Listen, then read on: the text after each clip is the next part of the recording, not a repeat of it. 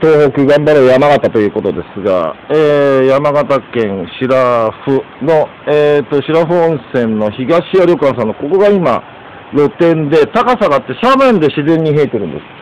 ということは、内湯はどうなってるかというと、まるで打たせ湯のように、高いところがこう出てるのね。すごい、んでこれ。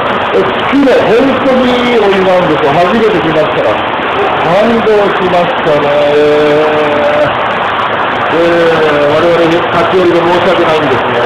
ぜひ皆さん、登録いらっしゃってください。